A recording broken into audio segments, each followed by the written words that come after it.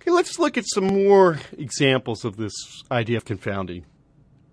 Now we'll get into the realm of real data.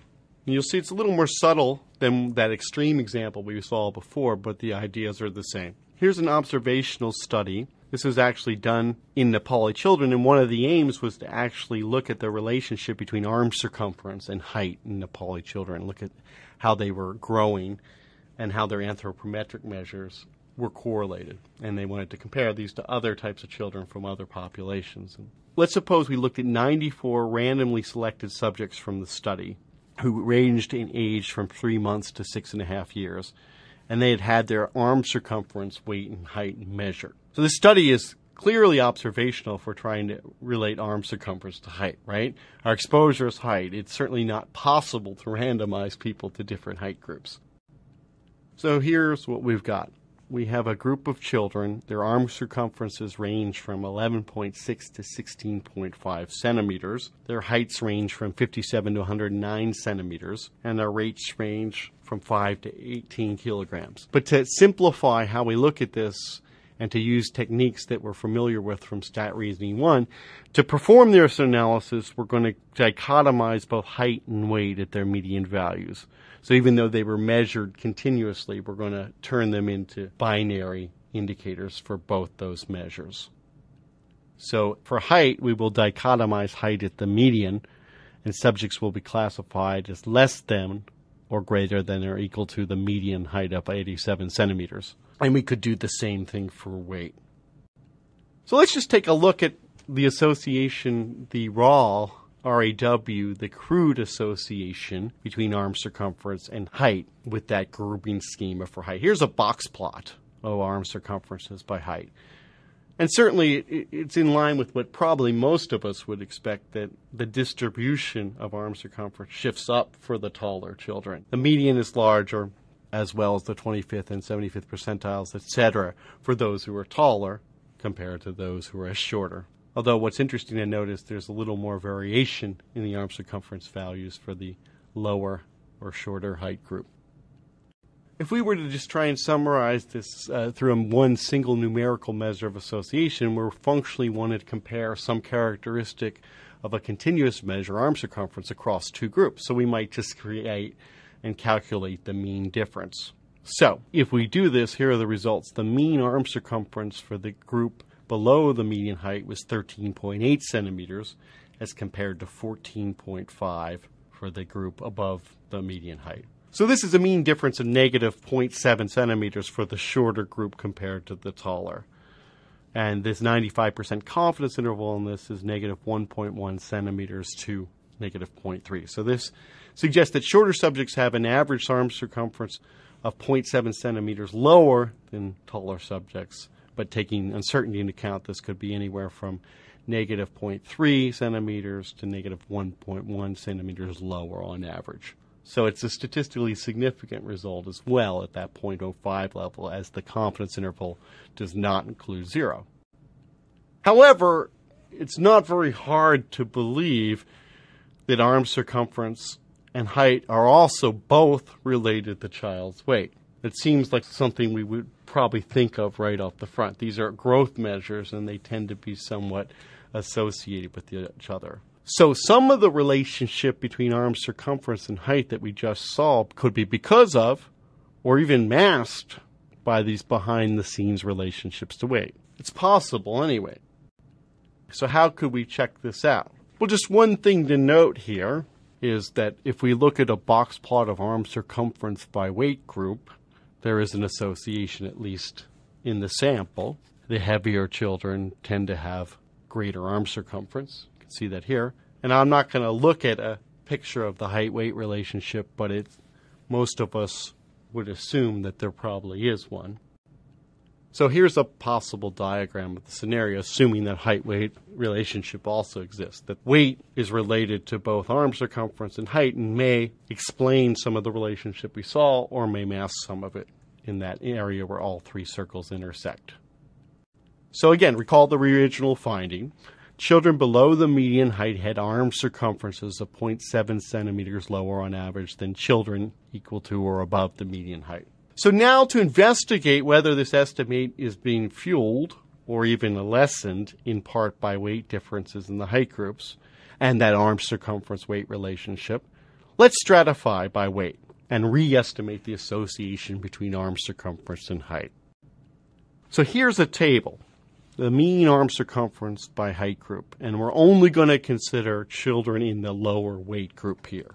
So we're stratifying by weight and we're looking first at the lower weight group. And here's the data. You can see that the majority of the children below the median weight are also in the shorter height group. But there are some who are taller as well. But if we look at these results, it's kind of interesting. The mean arm circumference for these two height groups amongst the lower weight children are almost identical.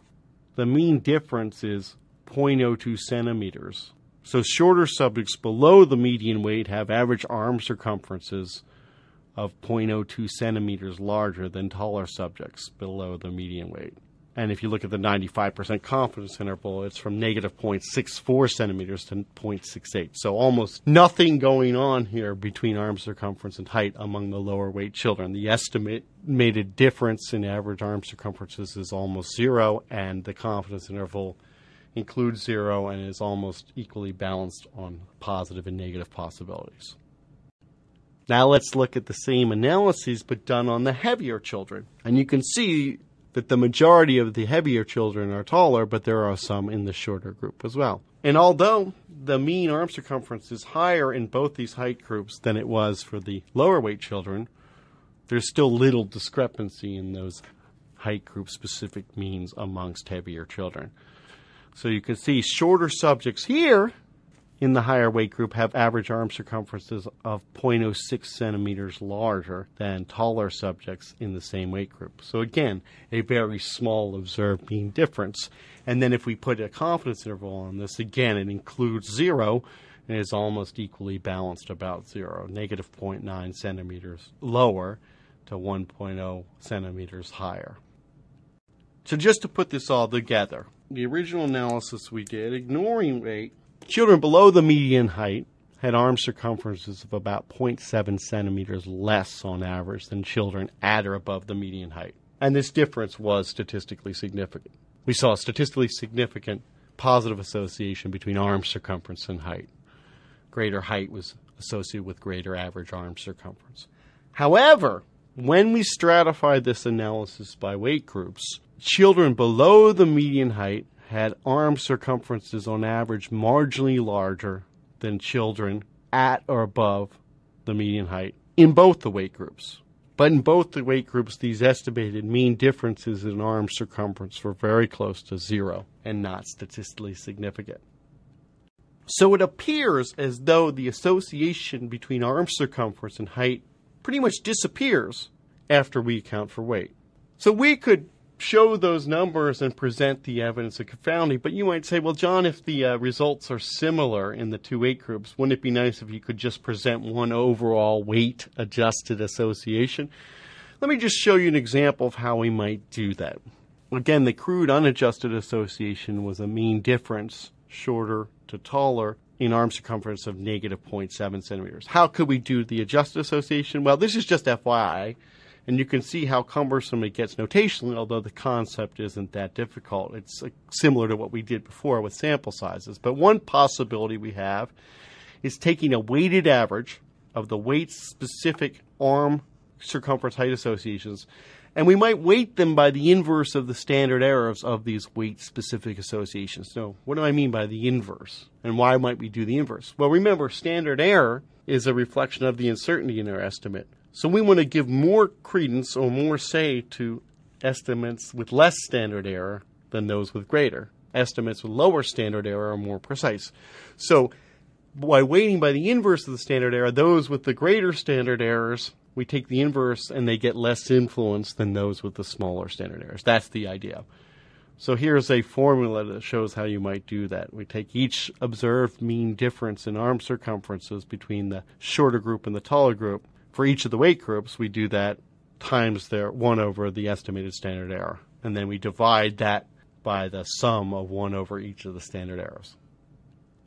Turns out the standard errors of these estimates, which I didn't show you, but if you want to use the t-test I command, you could actually figure them out each of the weight groups, are similar.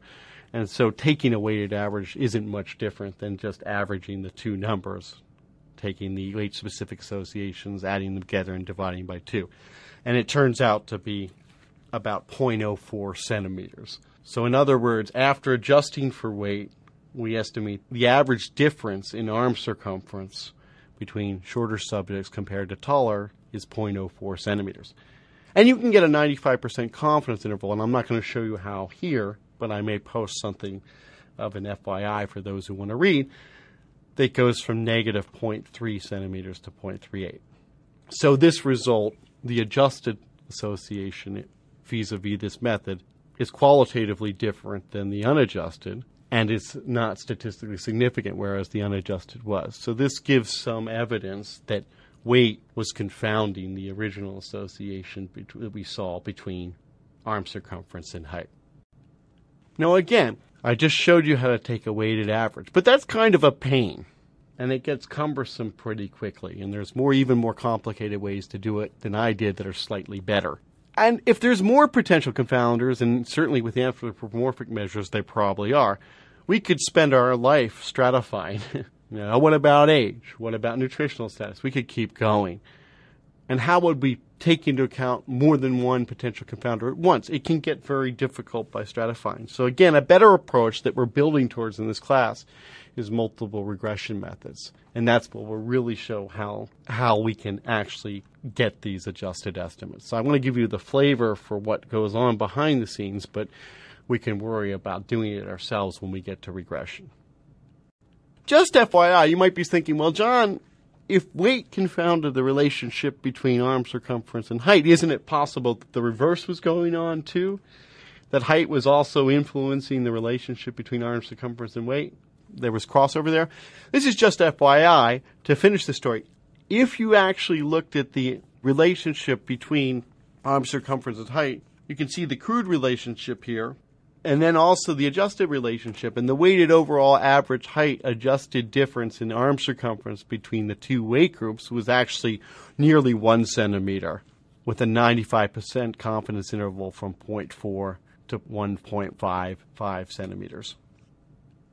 So this is sort of interesting. After we accounted for weight, the relationship we saw between arm circumference and height all but disappeared but taking into account height when considering the relationship between arm circumference and weight did very little to that relationship.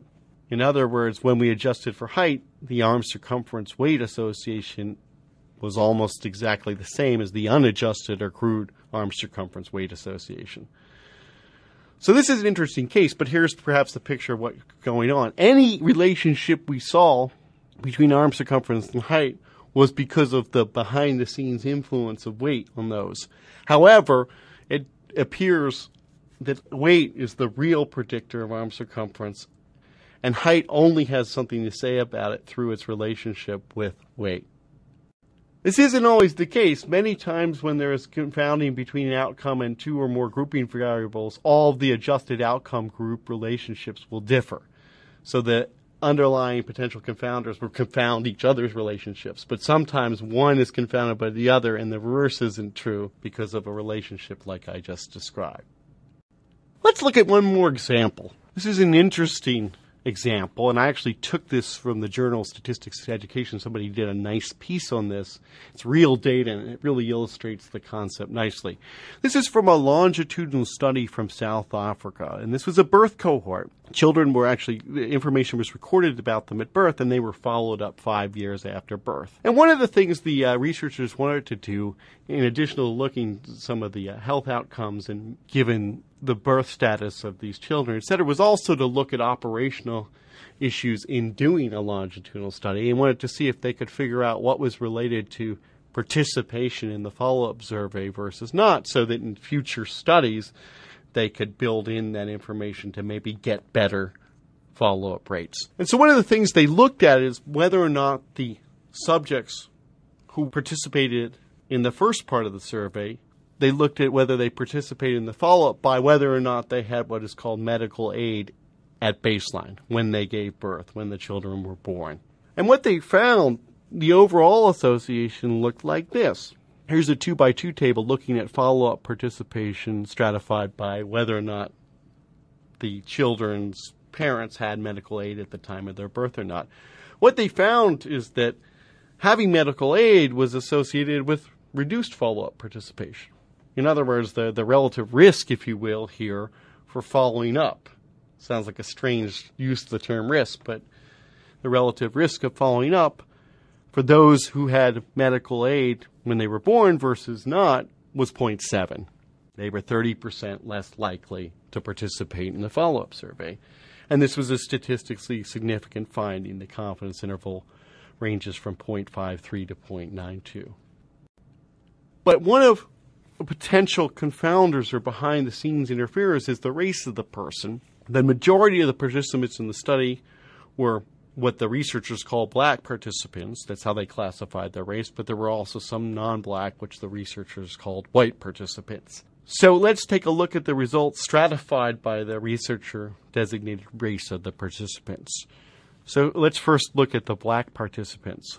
And if you actually look at the two by two table of follow up participation and medical aid status at birth for those black participants, if you actually look at the relative risk of following up for those black participants with medical aid versus no medical aid, it's almost identical to one.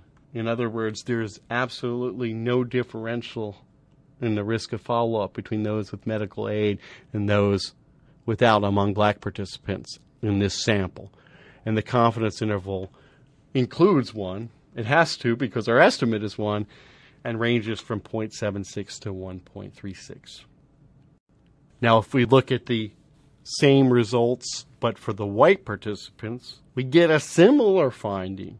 The relative risk of participating in the follow up for white participants with medical aid at birth versus those without medical aid, it's actually slightly positive. It's 1.05. But if you actually take into account sampling variability, it's not statistically significant, and the confidence interval ranges from 0.25 to 4.5. There's a lot of uncertainty here, but as you can see, there's very few white participants who actually followed up, and only two participants who followed up who had not had medical aid at the time of birth.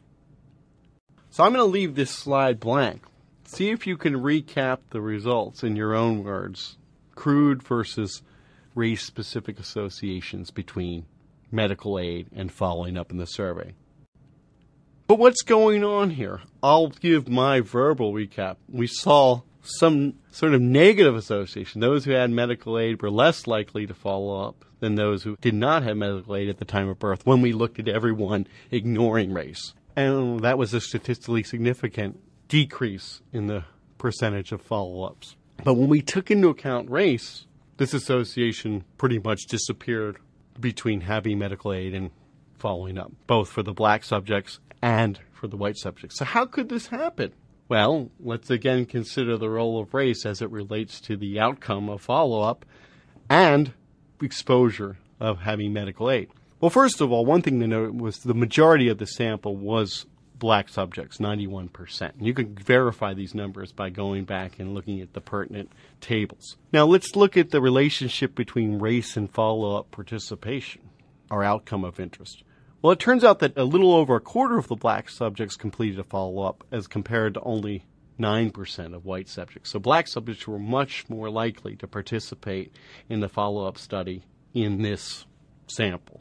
Now let's look at race and medical aid. And this is pretty striking, actually, but only 1 in 10, or about 9% of black subjects in the sample, had medical aid at the time giving birth, as compared to over 8 in 10 of the white subjects. So what happened here? Whites were less likely to participate in the follow up, but more likely to have medical aid. And when we ignored the component of race here, it made it look like having medical aid was associated with decreased follow up. Interesting, huh? But hopefully these examples have helped give you some context for the idea of confounding, and we'll certainly be considering this again when we get into the multiple regression methods.